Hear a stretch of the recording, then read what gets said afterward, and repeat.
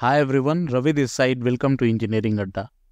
Today in this video, we are going to discuss about top 10 tools for a Spring developer. If you want to make a career in Spring development, then you should be having a good command on these top 10 tools.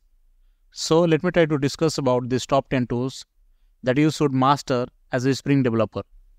So let's get started for that and let me try to go to the next slide and discuss about the first tool. So the first tool is Java itself. So if you are going to become a Spring developer, uh, you should already know that Spring is a framework of Java that help us in doing the development. So you should have a very good command over Java as a Spring developer. Okay, so you should be having the knowledge of Java common concepts, OOPS concept, database connectivity, collections, and Java 8 features. So these are the most concept that you should be having the thorough knowledge in. Okay, as a Java developer or as a Spring Boot, Spring Boot developer. So you should master Java common concept, OOPS concept, how to connect your Spring Boot application with the database and the collection framework of Java. And apart from that, you should also be having the thorough knowledge in Java 8 features like Lambda expression, functional interfaces, stream APIs, date and time APIs, and others as well. So, this is the first key or this is the first tool that you should master as a Spring developer, which is Java. Now, let me try to go to next slide and discuss about the second tool. So, here we have listed down the second tool as Spring Initializer. So this is the place or you can say website where you can create your Spring Boot application. So you should be uh, having the knowledge of in Spring Initializer as well, how it look like and how you can create your Spring Boot application from this website. So this is the, I would say the outlook or the home page of Spring Initializer where you can create your Spring Boot application. So you can see uh, you can create your Spring Boot project here choose the language that you want to uh, work in and then Spring Boot version and then you can define your group name, artifact name and name of your application. You can provide the description, package name and if you want to add the dependency uh, in the right hand side you can see the option of add dependency you can add it out okay so this is uh, about the spring initializer and if you are using uh, let's say IntelliJ as a IDE then if you're using the IntelliJ Ultimate version, directly you can find this option inside the IntelliJ itself. So you can see this, the second option, which is uh, Spring Initializer coming in the IntelliJ. And there itself, you will find the same uh, console or same option to create your Spring Boot application inside the IntelliJ itself. So this, both of the screen are same. Uh, one is in the Spring Initializer website. The second one is coming from the IntelliJ okay so this is uh, the second tool which is spring initializer from where you can develop or create your spring boot application adding the dependency that you require. So you should have the knowledge on this spring initializer as well. Now let me try to go to next slide and discuss about the third tool which is IDE that stand for the integrated development environment okay so the most popular name of IDEs when we are going to uh, look for the Spring or Java development is Eclipse, IntelliJ, and NetBeans. Uh, the first two are mostly used in the industry to work on the applications. So either of them you should master in. Okay, so either you can choose the Eclipse and then create a bunch of application in the Eclipse and try to see how it is looking like, how to do the configuration of your application in the Eclipse. So you should learn the basic things to work with a IDE. So my recommendation is to pick any of these IDE and try to develop a lot of application on this and see how the configuration of your application is being done inside the particular IDE, how to configure your Java inside the particular IDE, how to configure your uh, build tools so those things you should be aware of. So pick any of this ID and then master in this ID and try to develop a lot of application in it. okay? And the second tool uh, like second id i would say is intellij which is i am using in my projects. So any of them you can pick. And in the previous uh, years we were using the netbeans. As of now i'm not sure if it is uh, still active or not but yeah these are the popular ides for the java or spring boot developers. Now let me try to go to the next slide and discuss about the unit testing. So let's say you have developed your application then you have to write the unit testing for your application.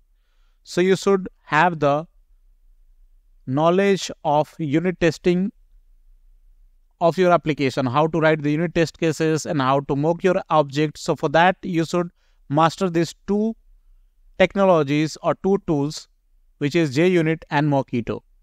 So pick them and try to master them. Okay, now the fifth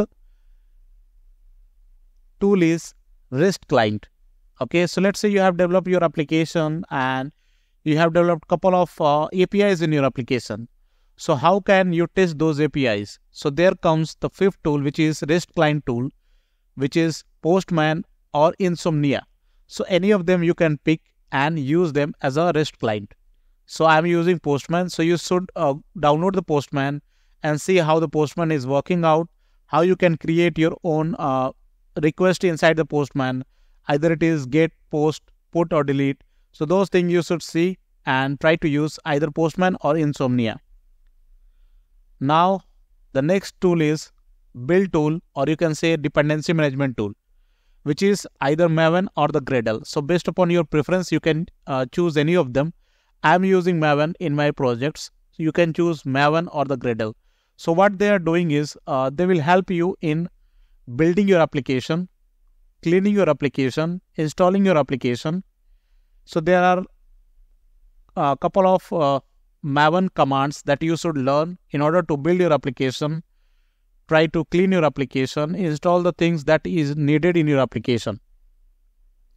And this Apache Maven is also working as a dependency management tool as well. So if uh, some dependency is missing, then you can go to the Maven and try to include that dependency in your pom.xml file of your application and then do a Maven clean or do a Maven install so that the dependency which you have included can be installed in your application. Okay, so you should master this uh, build and dependency management tool. You can pick any of them, either Maven or the Gradle. Okay. Now, the seventh tool is Docker, which is being used as a containerization tool.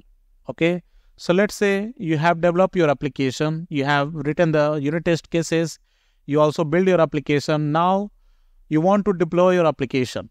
So either you can create a jar out of your application and deploy it out, or you can containerize your application by creating the Docker image. So there comes the picture of Docker. So you should master this technology. Let's say you have developed your application. Now you want to deploy your application and you are not going to use the jar to deploy your application. So what you can do is you can create the Docker image of your application and take that image or push that image to the Docker hub. And then from there, you can pick your image and deploy it in the cloud uh, that you want to prefer. Okay, or that you want to where you want to deploy your application in. Either it can be AWS or GCP or Azure. So Docker is a containerization tool which help us in creating the containers and deploying your Docker images inside that container. Okay, now let me try to go to the next slide and discuss about the eighth rule which is Kubernetes, which is a kind of orchestration tool. This helps us in trying to orchestrate or manage your containers. And the containers are the places where you deploy your images or Docker images, you can say. So the Kubernetes is a kind of orchestration tool that help us in managing your Docker containers. Okay. So you should master this technology as well. Now let me try to go to the next slide and discuss about this CI/CD tool, which is either Jenkins you can master or you can use the GitHub action. So let's say you have developed your application. Now you created the Docker image of your application and you want to uh, continuously dip, uh, like test your application and trying to deploy your application automatically. So for that, you should create a pipeline which you can create in Jenkins or GitHub Action. So you can use any of this technology to create a CI/CD pipeline of your application. So either you can use Jenkins or Docker. So the nine technology that you should master is for the CI/CD pipeline is Jenkins or the GitHub Action. Okay, now let me try to go to the next slide and discuss about the 10th tool.